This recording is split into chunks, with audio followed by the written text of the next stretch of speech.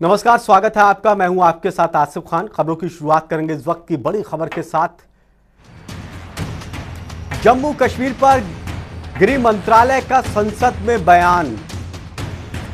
सही समय पर पूर्ण राज्य का दर्जा दिया जाएगा। जम्मू कश्मीर को लेकर सरकार कह रही है कि चुनाव कराना चुनाव आयोग के अधिकार में है। जम्मू कश्मीर पर गृह मंत्रालय का संसद में बहुत बड़ा बयान आया। उन्होंने कहा कि सही वक्त पर पूर्ण राज्य का दर्जा दिया जाएगा जम्मू कश्मीर को। और चुनाव कराना चुनाव आयोग के अधिकार का काम है, ये सरकार का काम नहीं। इस मामले को लेकर सरकार ने जवाब दिया, लेकिन एक बहुत महत्वपूर्ण बात।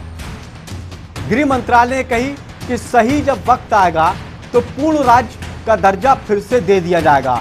दरअसल जम्मू कश्मीर पहले पूर्ण राज्य था, लेकिन फिर केंद्र शासित राज्य बना दिया गया। लेकिन अब केंद्र सरकार की तरफ़ से कहा गया कि सही वक्त आने पर पूर्ण राज्य का दर्जा जम्मू कश्मीर को दिया जाएगा, क्योंकि आगामी जम्मू कश्मीर में विधानसभा चुनाव है। उसको लेकर विपक्ष कह रहा है कि आप पूर्ण राज्य का दर्जा क्यों नहीं दे रहे?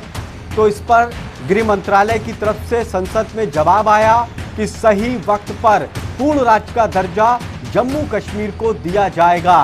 वक्त का इंतज़ार करिए, जब वक्त सही होगा, तब पूर्ण राज्य का दर्जा दिया जाएगा। और चुनाव से संबंधित ये सरकार की कोई ज़िम्मेदारी नहीं है।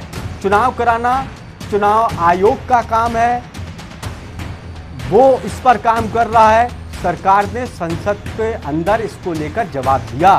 चुनाव कराना चुनाव आयोग के अधिकार में है। सरकार के अधिकार में नहीं है। चुनाव आयोग चुनाव कराएगा। जम्मू कश्मीर के अंदर। लेकिन जब वक्त सही आएगा, तब उस वक्त में जम्मू कश्मीर को पूर्ण राज्य का दर्जा दे दिया जाएगा।